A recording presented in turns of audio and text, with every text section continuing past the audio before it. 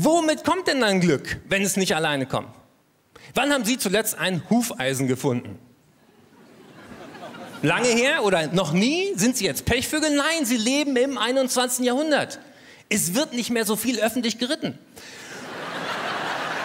Unsere Ideen über Glück sind alle aus dem Mittelalter. Wer sagt, dass vier Blätter an einem Kleeblatt besser sind als drei? Vier Blätter sind eins, sie sind seltener als drei. Okay. Und was tun wir? Wir erklären Dinge zu Glücksbringern, die bewusst selten vorkommen.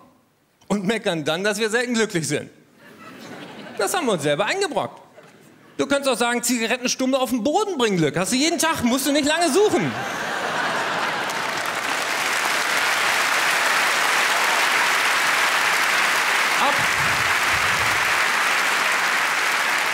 Ob vier Blätter wirklich besser sind als drei, ist eine Frage des Standpunktes von mir und vom Kleeblatt.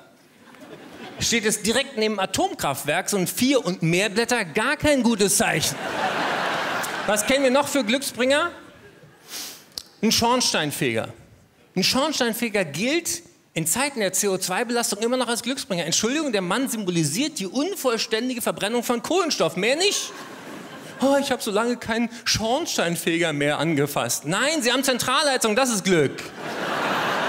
Dann wird die Tierwelt bemüht. Eine Hasenpfote soll Glück bringen. Mal ganz kurz überlegt. Der Hase, der hatte vier davon. Hat's ihm wirklich was gebracht?